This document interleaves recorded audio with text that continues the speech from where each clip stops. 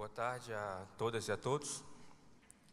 Queria saudar a mesa na figura do Luiz e agradecer o convite feito pelo Marcelo Araújo, secretário da Cultura, para que a Bahia se fizesse presente aqui e relatasse sua experiência em, na gestão da organização social. Eu acho que um evento como esse tem uma importância muito grande, porque a institucionalização é, dos programas de OS é, é, algo recente. Na Bahia, a primeira, o primeiro contrato de gestão foi em 1999, temos aí então 15 anos, então estamos é, numa fase ainda de, na adolescência do, do modelo, então tem um aprendizado enorme ainda a ser enfrentado, e eventos como esse, com troca de experiências, é, vai no sentido desse processo de aprimoramento. Então, parabenizá-los e dizer que a Bahia sempre estará à disposição para essa, essa, essa, troca de, de experiência e aprendizado. Nosso roteiro, eu vou iniciar falando um pouco da legislação, da estrutura de governança é, do modelo na Bahia, os processos componentes dessa estrutura de governança, os aprimoramentos que a gente tem, tem identificado e os resultados já, já alcançados. É, é importante destacar que um programa de OS pressupõe um entendimento do que é parceria, a compreensão de que parceria é fazer com, né? é fazer junto. Esse processo de aproximação entre o Estado e a instituição parceira é fundamental para o alcance dos resultados. Né? Claro, as OS são sujeitas a regras mais flexíveis, né? de gestão de pessoas, regras mais flexíveis de licitação, de contratação, melhor dizer, regras mais flexíveis de orçamento, a parte financeira, mas tem que ter um compromisso com a melhoria da prestação do serviço público. Tem que ter um compromisso com aproveitar essa flexibilidade para alcançar resultados mais significativos. Essa é a razão de ser do programa e deve ser o objetivo principal a ser alcançado.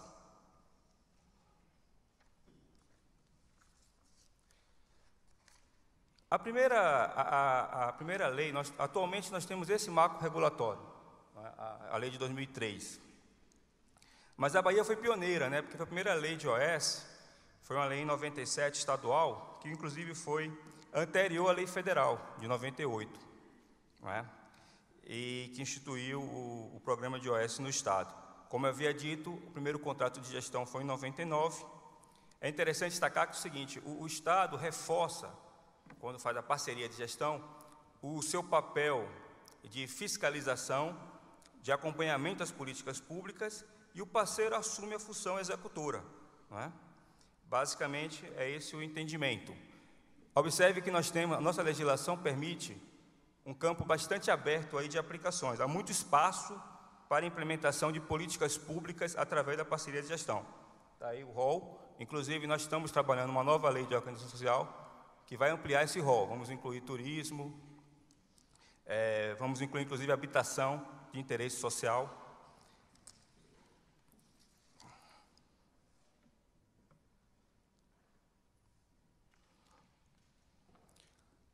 Existem duas críticas é, muito comuns em relação ao modelo de organização social.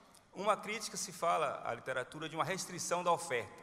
O modelo de OS tem uma dificuldade de ser é, ampliado porque existem poucos parceiros com qualificação para atender as políticas públicas é, formuladas. Então, é o que chama de restrição da oferta. Tem uma outra crítica muito comum, que é o fato de que há uma inexistência, uma fragilidade muito grande no controle social. Né? A estrutura de governança na Bahia, ela pressupõe, primeiro nós temos um programa estatual de organização social, e esse programa é gerido pela Secretaria da Administração, então tem um órgão central. E as secretarias, elas, por decisão dos titulares das pastas, definem publicizar certas atividades e serviços. Então, é o ato do secretário da pasta, não é imposto de cima para baixo. A Secretaria de Administração, como gestora do programa, ela também tem a Secretaria Executiva do Conselho de Gestão de OS. Então, nós temos um Conselho de Gestão de OS, que é o CONGELS. Esse conselho se manifesta sobre a qualificação de OS, se manifesta sobre os termos do contrato de gestão, se manifesta sobre o acompanhamento das metas e até da questão de desqualificação. São reuniões trimestrais, onde a Secretaria da Administração, o secretário da pasta, no meu caso, preside o conselho, e é uma instância de normatização e controle. Agora observe, o secretário da pasta assinou o primeiro contrato de gestão, ele ganhou um assento no conselho. E ele indica um representante da sociedade civil para fazer parte do conselho. Então, para cada pasta que se incorpora ao programa, há um representante da sociedade civil dentro do conselho com voto independente. Tá? Que aí é que a gente está querendo buscar o esforço de ter uma representatividade da sociedade dentro do programa. Né? Então, a, o, o contrato de gestão, eu costumo dizer o seguinte: o contrato de gestão é a pedra angular de um programa de OS. Boa parte da problemática de um programa de OS está, reside em fragilidades no contrato de gestão. Peça fundamental é a expressão da parceria. A parceria se materializa pelo contrato de gestão. Né? Agora, observe, esse contrato de gestão, ele é acompanhado pelo Congels, você tem os órgãos de assessoramento jurídico ou de acompanhamento e controle interno, como a AGE, que é a Auditoria Geral do Estado, a Procuradoria Geral do Estado e o órgão de controle externo, que é o Tribunal de Contas. Agora, é fundamental,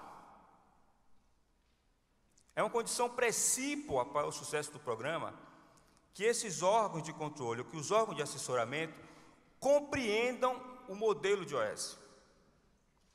Então, precisa ter uma aproximação frequente entre esses atores, para que haja aquilo que o, o que o professor Humberto citou, um equilíbrio entre os controles dos meios e os controles dos fins. A, a, uma orientação que a gente tem dado à nossa Secretaria Executiva do Congels, que é uma superintendência de gestão pública, é de que a SAEB não apenas faça os pareceres técnicos para embasar o processo decisório do Congels, mas também e, sobretudo, dê apoio às setoriais que têm os seus contratos. Então, por exemplo, nosso governo começou em 2007. Eu não estava na condição de secretário, eu estava na condição de chefe de gabinete, o secretário Emanuel Vitório, mas acompanhei todo esse processo. A partir de 2013, eu assumi a secretaria da administração. É, nós fizemos um amplo diagnóstico do programa e verificamos a necessidade de você aprimorar o monitoramento e avaliação. Então, contratamos uma consultoria e demos às unidades uma sistemática de monitoramento e avaliação. Mesma coisa fizemos agora recentemente, quando a necessidade de contratar uma consultoria de auditoria operacional de regularidade. Então, é muito dessa lógica que eu, que, de orientação que a gente dá à, à, à Secretaria Executiva, que ela dê apoio a aprimoramento ao aprimoramento técnico dos contratos. Tem que reforçar a capacidade técnica de quem monitora e avalia. Isso é fundamental para o programa. Não, não basta apenas qualificar entidades como essa ou assinar contrato de gestão. Tem que a estrutura de monitoramento e avaliação tem que ser capacitada para exercer esse papel, com qualificação técnica. Então observem, às vezes aparece no Congels uma meta cumprida de 115%, 115, 120%, algo que precisa ser bem mapeado. Pode, pode ser um falso êxito. Os 120% pode ter sido em função de uma meta pouco desafiadora. A unidade técnica não soube trazer uma meta que representasse um alcance de resultado efetivo. Isso foi a fragilidade do programa. Ao mesmo tempo, 115% pode representar que há um grau de amadurecimento gerencial da OS. A OS consegue ter outros recursos extra orçamentários do governo do Estado, consegue ter uma alavancagem de recursos próprios, e com essas ações complementares, ela consegue atingir, consegue atingir um, um é, além dos objetivos, não consegue ter essa meta aí. Então, essas coisas precisam ser bem azeitadas e bem mapeadas.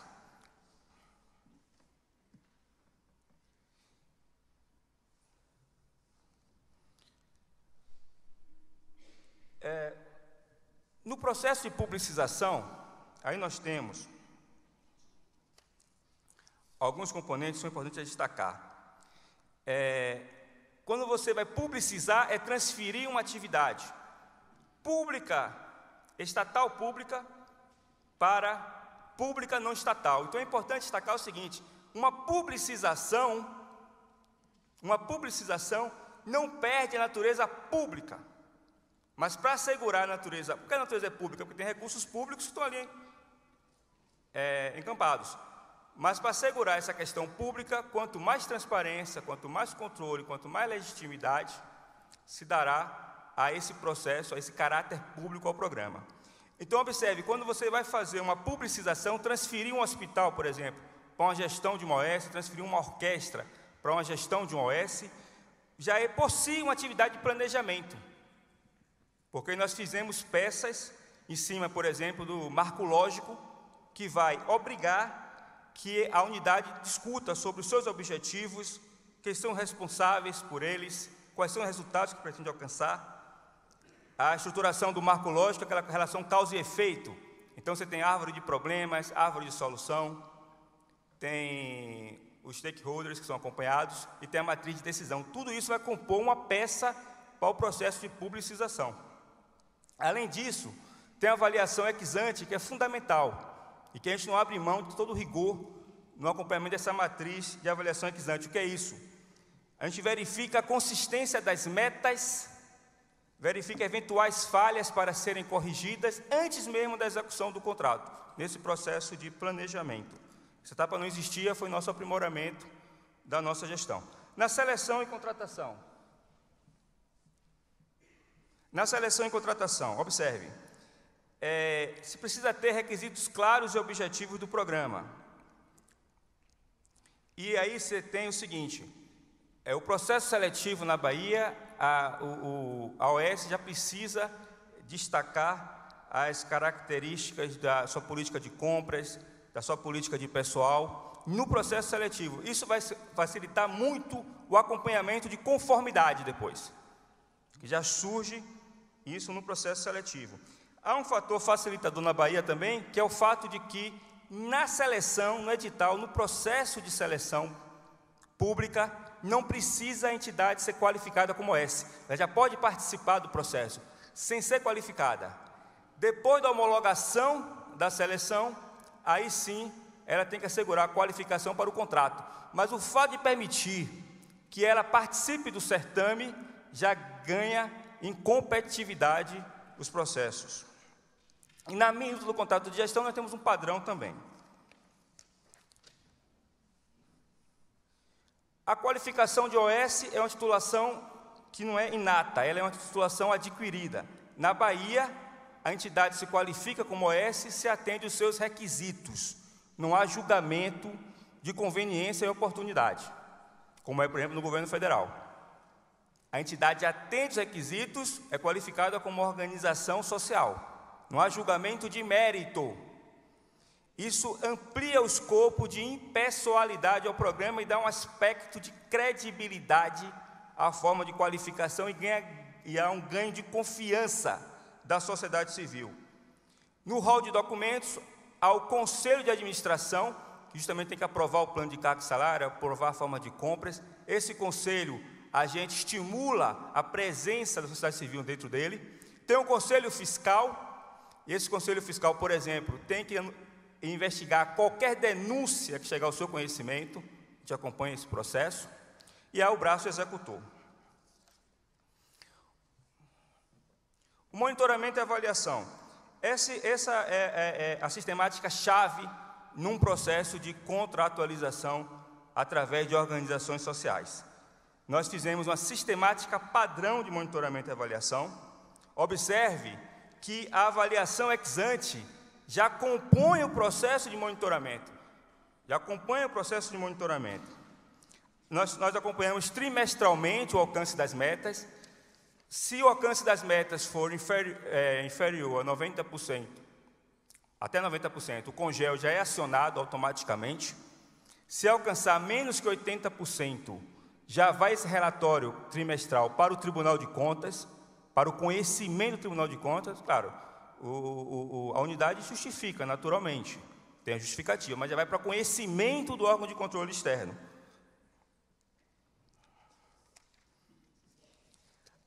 Nós temos um fator restritivo que ainda temos muitas metas de eficácia, metas de entrega, e temos poucas metas de efetividade, metas de impacto, e temos poucas metas de eficiência, que é a relação de insumo e produto. A gente precisa potencializar o uso de indicadores né, com essas métricas.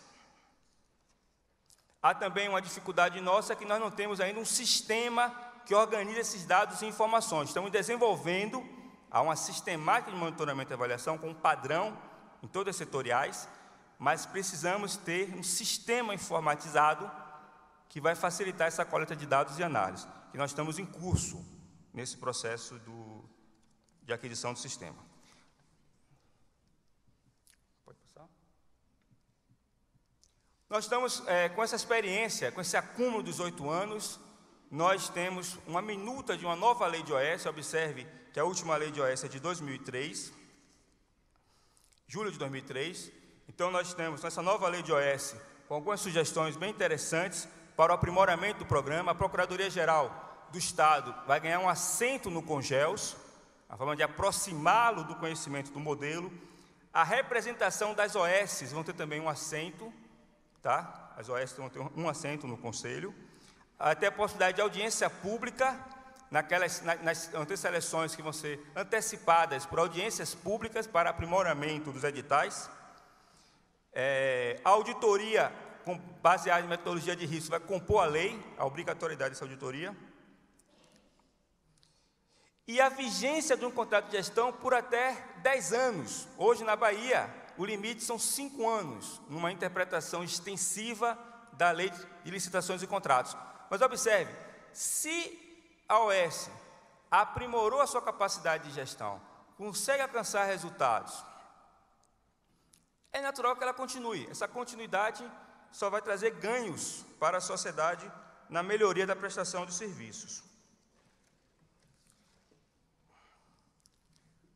Como o tempo está encerrando, eu vou ter que acelerar aqui só para falar com vocês que nós contratamos uma consultoria Ernest para fazer um manual de auditoria operacional, como estão as operações, quais são os objetivos, como usam os recursos, e uma auditoria de regularidade. Então, vai ter um manual de auditoria operacional, vai ter um manual de auditoria de regularidade, as comissões próprias de monitoramento e avaliação vão ser capacitadas neste manual, porque a gente fez a seguinte pergunta lá no Estado: não basta apenas alcançar a meta, não basta apenas alcançar a meta, temos que saber em que condições essa meta foi alcançada em relação ao bom uso dos recursos. É aquele equilíbrio que o professor Humberto falou entre os meios e os fins. Você pode justificar, ah, mas é porque o modelo de gestão por resultados é o modelo de OS. Então os fins justificam tudo e pode se fazer de qualquer maneira. Não, tem que ser, levar em conta os princípios constitucionais da legalidade, impessoalidade, publicidade, moralidade, eficiência. Então, para isso, precisa de fato que tenha uma instância de controle interno que vai se dar por esse processo de auditoria, é? para que a gente assegure que isso não apenas alcança as metas, mas que também otimiza os recursos. É? Na verdade, não se pode ter nem a predominância dos fins sobre os meios, nem dos meios sobre os fins. Precisa ter um equilíbrio. Não é? Esse manual vai, vai, vai, vai nessa direção. Por fim, para finalizar, para mostrar o seguinte, eu falei no, no, início que você tinha duas críticas comuns a um programa de OS. Pouca presença de controle social, e nós estamos é, aprimorando esse processo, e uma restrição de oferta, poucos parceiros qualificados como OS e dispostos a entrarem no programa. Isso pressupõe credibilidade, construção de confiança na relação de parceria. Então, observe, com essas ações que tomamos de 2007 para cá, o programa de OS na Bahia tinha, em 2006, 30 entidades qualificadas, hoje são 86 entidades. Pode passar, por Olha aí. 86 entidades qualificadas. Contrato de gestão na Bahia em 2006, quantos eram? Sete. Quantos são hoje? 34, uma ampliação de 385%, bastante significativo esse, esse processo de crescimento do programa, mas em bases mais profissionais. Novos contratos para 2015, 22. Nós temos aí a Orquestra Sinfônica da Bahia, já foi publicizada é, para ser gerida por uma OS, a OSBA. Vai ter a primeira unidade de conservação ambiental, através de uma OS, tá nessas 22, e, e também a parte de atendimento socioeducativo para jovem infrator, também através de OS, está previsto para 2015. Para finalizar, então, olha os recursos que o programa gira. Olha, é fundamental para o, para o alcance dos resultados que os recursos, repasses sejam regulares, hein? Atraso de repasse desconstrói o programa, desestrutura o programa. Por mais que o parceiro consiga alavancagem de outros recursos, mas não tem sentido, né? na PPP você tem um fundo garantidor que, que assegura os, os desembolsos, né? mas em OS precisa ter uma sensibilidade muito clara da Secretaria da Fazenda do Planejamento para que os repasses sejam feitos de forma muito regular, não é? Então, é, atraso nos repasses compromete muito. Uma, uma, um ponto que na Bahia ainda é muito frequente de, nos órgãos de controle apontar é a questão dos bens patrimoniais. Um programa de OS não é privatização justamente porque os bens, os equipamentos, as instalações, elas voltam para o Estado, ou se elas forem adquiridas com recursos do Estado, se incorpora ao patrimônio do Estado. Então, discutir que OS é privatização é não compreender o modelo, não compreender o programa. Mas é fundamental que o Estado tenha controle dos bens patrimoniais. Se o Estado não tem controle dos bens patrimoniais, aí você tem uma fragilidade no patrimônio, perfeito? Então, é, é um ponto que a gente precisa também avançar, lá é um ponto muito, muito comum as setoriais terem dificuldades nesses controles, é um risco do, do programa. Observe, pessoal, 565 milhões, tá? Recursos anuais, boa parte concentrado na saúde, como vocês podem ver, 93%. Só para você ter uma ideia, em 2006 eram 97 milhões anual. E por fim, agora a última, só dar para vocês alguns, alguns exemplos de OS. É, nós temos uma OS em ensino profissional, muito bem avaliada, em Feira de Santana, essa área de ensino profissional tem uma dinâmica de currículo muito grande, de adequação dos currículos. Então, ter a flexibilidade de um OS potencializa muitos resultados. É, em agricultura, produção de muda, eu gostaria de destacar em trabalho, observe, trabalho e ação social, nós estamos criando uma estrutura na Bahia fortíssima. Eu não sei como é que é o órgão aqui de assistência rural em São Paulo, a Emater, que tem aí em vários estados, é, que é assistência técnica rural.